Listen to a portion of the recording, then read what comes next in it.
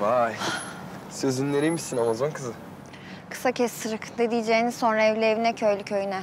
Ya sonunda baş başa kalmışız. Bırak da tadını çıkarayım. O kadar güzelsin ki. İnsanın şarkılar söyleyesi geliyor.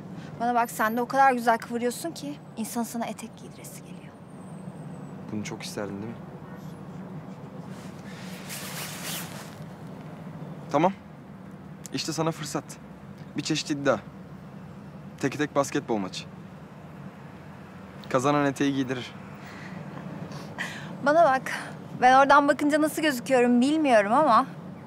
Basket takımının kaptanıyla basketbol maçına girecek kadar da manyamadım hala.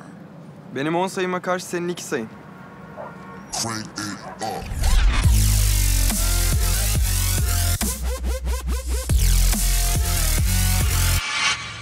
Diyorsun. Anlaştık. Çıkışta sağda. Ama bizimkiler duyarsa ben karışmam ona göre.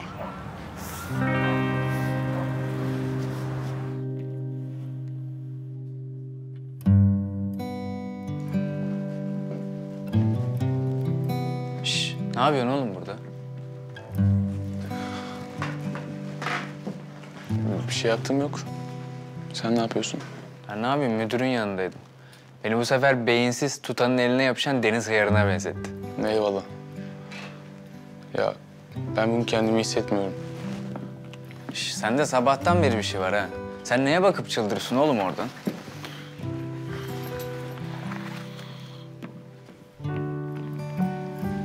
Sıkıntı falan yok kardeşim. Ben eve gidiyorum. Bizim çocuklara söylersin.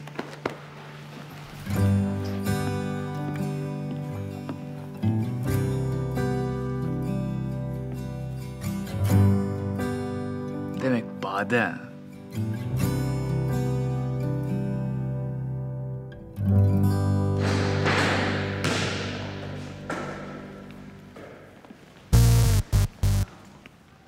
Sizin gibileri iyi tanırım ben.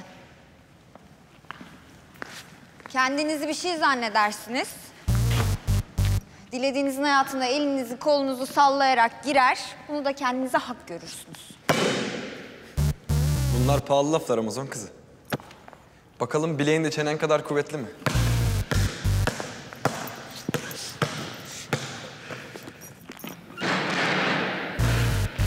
Kaldı bir. Umarım etekli halim basketbolun kadar kötü değildir.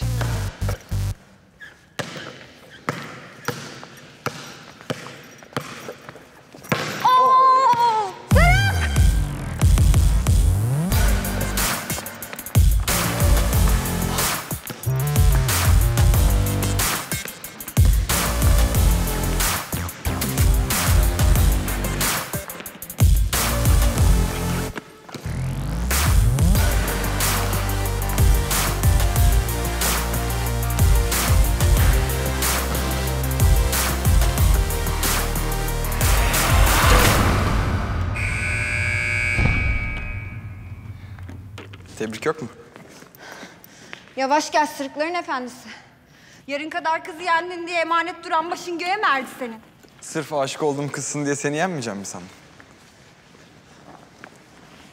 Hem seni etekli görmeyi kaçıramazdım. Yarın prensesliğin ilk günü.